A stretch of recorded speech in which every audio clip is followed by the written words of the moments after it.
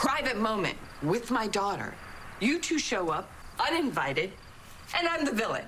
What up, y'all? This your boy Ace here. Welcome to After News Delight. So I didn't get a chance to do a video yesterday, y'all. I thought I was. I was very busy on my channel.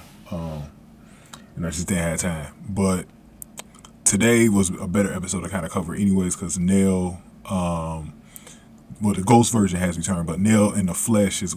I think is going to return on Monday. So we count down the days until Nelle's return.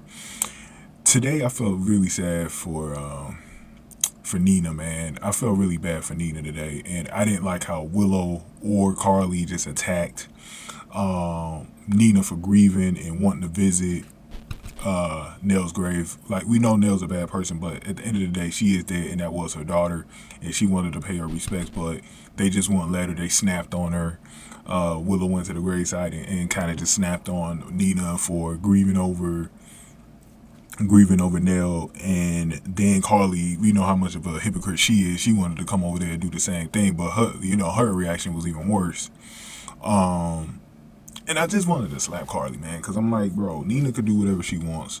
We, she knows that Nelle's a bad person and all that, but she feels very guilty about the situation too because she knows that her life could have been different if she was the one who to raise her all her life instead of her um, stepfather, whatever. But you know, it's crazy how they came at the Nina when she was minding her own business. She was she was there first and minding her own business. Then they just came over there and started yelling at her. I was like, I was ready to tear both of their necks off, but especially Carly's, bro.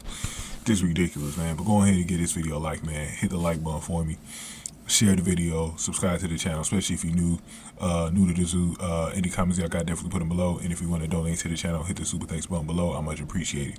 But yeah, man. Um, very difficult to watch because I just couldn't believe it. But both of them had dreams about Nelle. Like I said, Nelle's coming on Monday, and then we got then I think we got Esme in the picture because I think she's the one that, that stabbed Ava.